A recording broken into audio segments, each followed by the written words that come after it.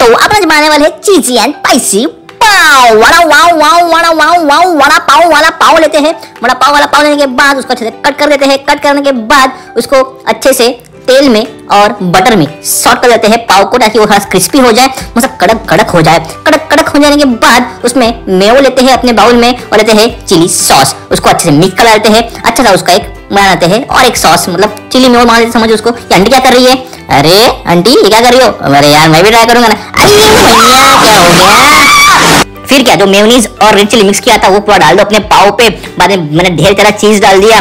बाद में क्या, दोनों से चुरा हुए। और चिली फ्लिक्स भी डाल दिए और पाँच दस मिनट के लिए ढक के रख दिया। बाद में क्या क्या लग रहा है चीज़ पूरा मेल्ट हो गया है।